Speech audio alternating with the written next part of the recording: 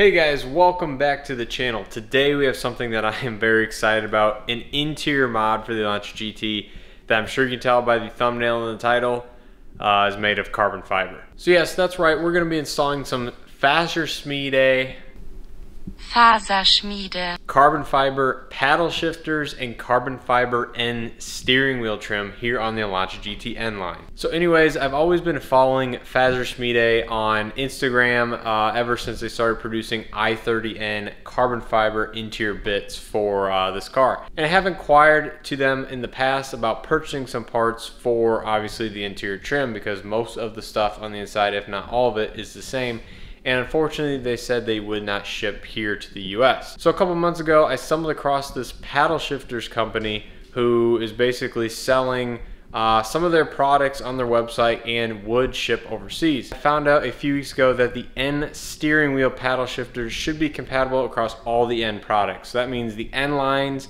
with the N steering wheel as well as the N cars with the N steering wheel obviously all should share the same paddle shifter mechanism. So after knowing this, it was perfect timing. I went ahead and picked up Faserschmiede's i30N carbon fiber paddle shifters as well as the N steering wheel trim.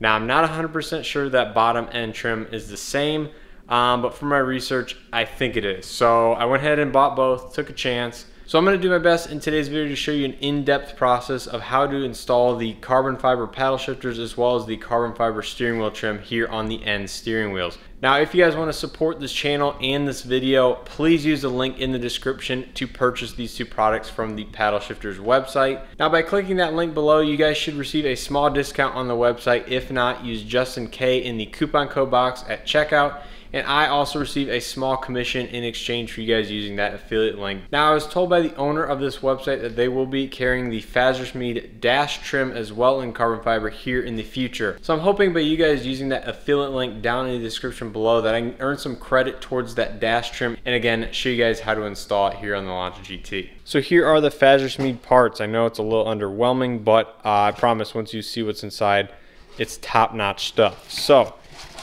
here we have the lower steering wheel trim first of all. Extremely light because this is a true carbon fiber part all the way through. So this is like an autoclave part. I believe it's like molded in carbon fiber and everything, injected. But I mean, you can see by the quality of this part, of course it's stamped in the back for authenticity. I mean, it is just a very high quality part.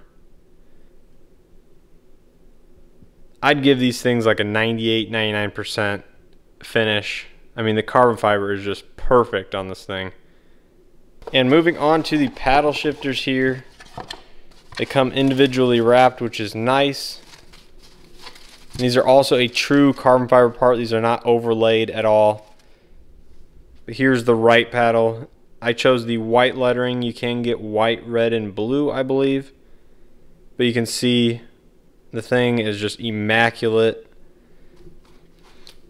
Here on the back side, I mean, it is just perfect. And I chose these mainly because they retain the lip that your fingers will hold on the back side. Now I know some of the other on the market might not retain that shape or as much as these do from what I've seen in pictures. So that is kind of the reason I chose these. And I just also like the OEM Plus looking shape too. So uh, I believe these are a little bit larger than the stock ones, but I guess we'll find out in this video. But uh, overall, the quality on these things is very, very good. So after doing a little bit of research online, obviously I knew we would have to remove the airbag and the steering wheel. So first thing you want to do is obviously disconnect the negative terminal here on the battery. Let the battery drain down so there's no uh, energy left in the system to ignite the airbag that you will be removing from the car. So let's go ahead and do that really quick and then we'll jump inside the vehicle. Now I'm going to try to make this long story short. Um, I believe these paddle shifters are the same exact ones, just in a different finish as the current NDCT models. Same shape, same size, and everything like that. Um, the new ones are just silver, these are dark gray.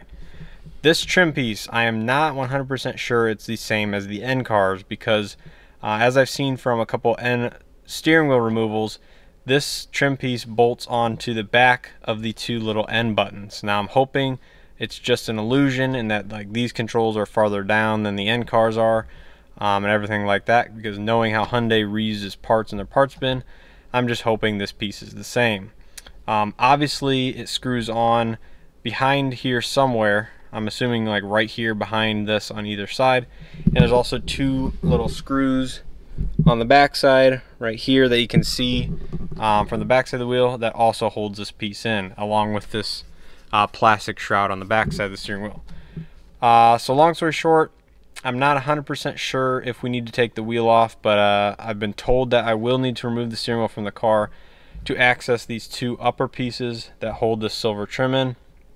The N logo, once this piece comes off, is held on by a single screw on the backside.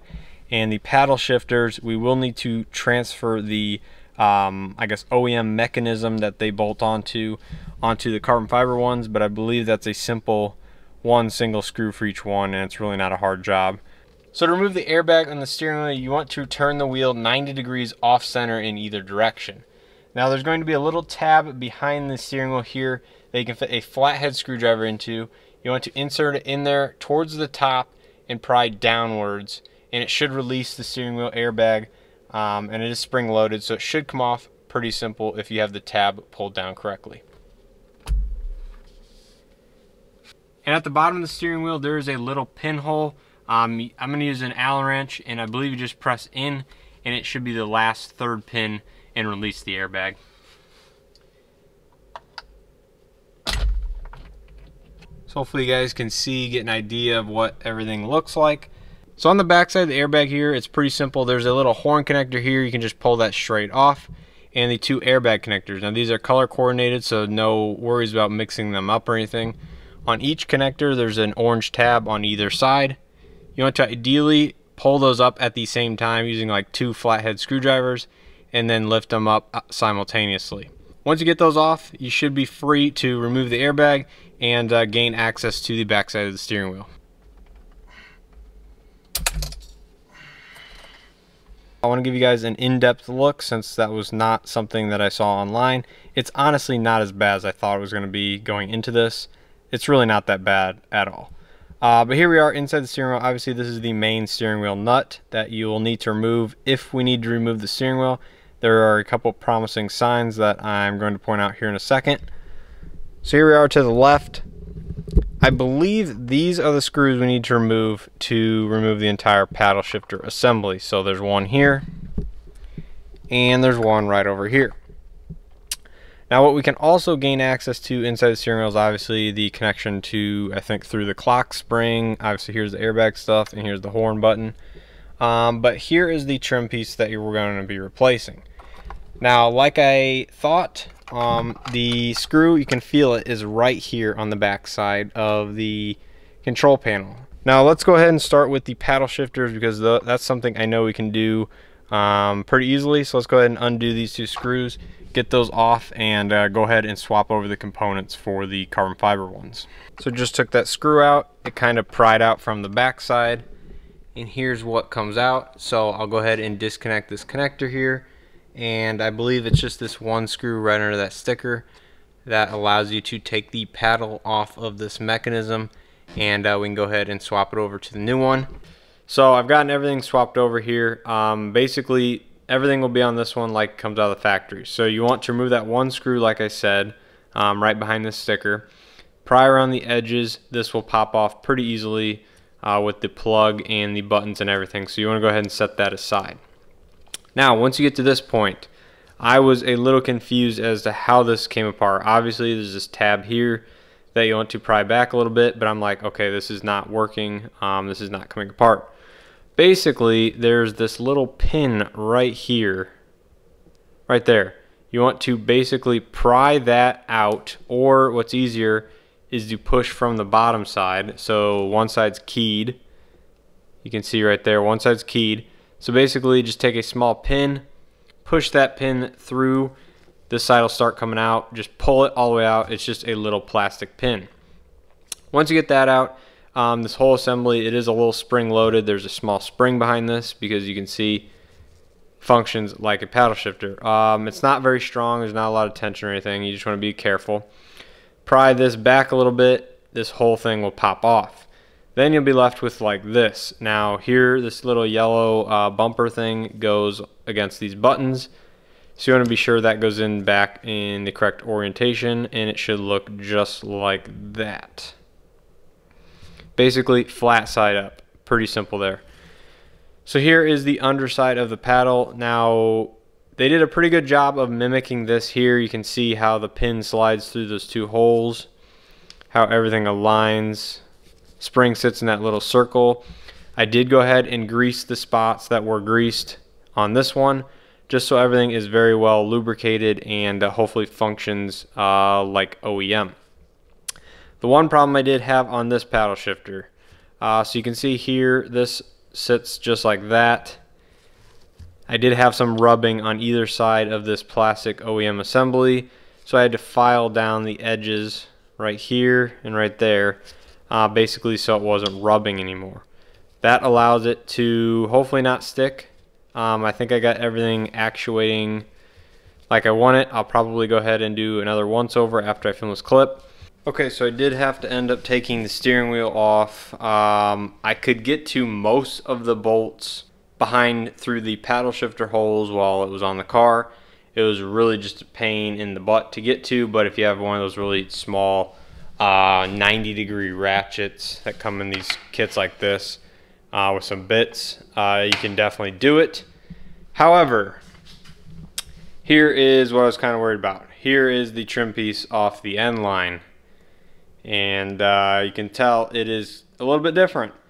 Um, that's because the two wiring harnesses actually run through those little rectangular sections right here and then plug into the back of the two controls on the wheel. And exactly what I was afraid of. It's not the same piece. So here is the carbon fiber piece all lined up. I'm just holding it with my hand here. Controls in place and yeah. Um, you can tell the shape is extremely close. I mean it almost goes all the way and uh, exactly what I was afraid of earlier in this video. The bolting location is in a totally different spot because that is exactly where the N uh, button would go on the N steering wheels. I guess that's a confirmation that these will not fit the N-line steering wheels um, because, well, mainly due to the fact that there's no N button there and uh, the part is very slightly different. So here we are in the next day and I've already started editing this video and I realized we are over 12 minutes long so I'm going to try to be quick wrap this video up, just give you my impressions and thoughts going into this install. So as you can see here, I did go ahead and proceed with installing the carbon fiber paddle shifters. And I would say I'm glad I did because I still think they add quite a bit of character to the steering wheel itself. And uh, hopefully we can add some carbon fiber dash trim here in the future go ahead and accent these pieces because I think that would look really sick. Um, I'm kind of a little concerned how that would look all glossy carbon um, just in terms of the light reflection and stuff coming in here from the window. But I definitely do want to try it and uh, see how it look, and I think this uh, would accent really nicely. So now that we know that the lower trim piece is not a direct replacement between the N and the N-line cars, I do have some thoughts on that. So after reviewing the footage uh, from what I've took, the pieces seem to be extremely close in overall shape. And if you notice on the um, carbon fiber one, they actually use adhesive to glue the mounts onto the back of the carbon fiber part. Wait a second, if the parts are actually just the same shape and they forge the carbon one anyway and they just go ahead and basically glue on new mounts, in theory you might be able to just create new mounts for the top brackets to fit the N-line cars and use the exact same carbon fiber part, just glue a different mount on top. So that was my thinking there that it might be possible for them to just create new top mounts and glue them on, you know, in a different way rather than having to create a new carbon fiber piece. So now it might not be 100% the same, and of course they would have to probably try to fit it themselves on an N-line steering wheel over uh, in Europe and everything like that. Um, but I definitely think it's a possibility that um, they could very well reuse the same part, and I definitely will reach out to them to see if maybe they can R&D um, a new carbon fiber piece and uh, see if it would work. Now, knowing what I know now after doing the install process myself, I would have definitely appreciated somebody having a video like this out there for me to follow along with the transferring of the paddle shifters from the OEM to the carbon fiber ones because it is not necessarily a hard process at all and actually I would think it's a very good DIY project but it's one that I would have liked to have a little bit of direction going into uh, knowing what I'm getting into. So hopefully you guys find this video helpful in doing this uh, install if you guys decide to go ahead and do it because um, I think knowing what I know now, this is probably a, a 90 minute install process. So given that these are custom carbon fiber parts I assume are assembled by hand, they did need a little bit of work to get them to fit 100% properly. So like I showed earlier in this video, the left-hand side one needed a little bit of uh, filing down on that long rectangular piece so it didn't rub on the OEM plastic assembly when moving up and down. Now here on the right side paddle shifter, I had to file down some of the extra adhesive that had bubbled up through the uh, plastic mounts that they adhere to the paddle shifter itself.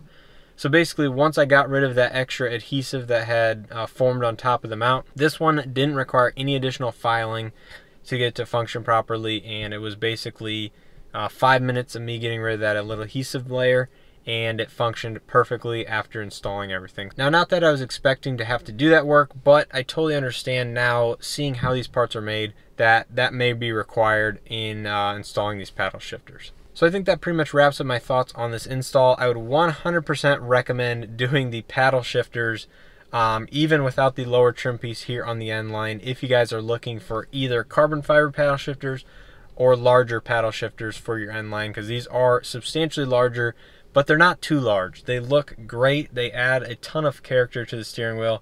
It is something you look at a lot more than you think um, being behind the wheel of the car. So I think it is something that is very nice. And like I said, I like those little extra lips on the back that you can grab your fingers onto. So hopefully you found this video helpful in doing whatever install you are on your N steering wheel it's definitely a video I wish was out there before I went into this project. Um, so hopefully you guys found it helpful.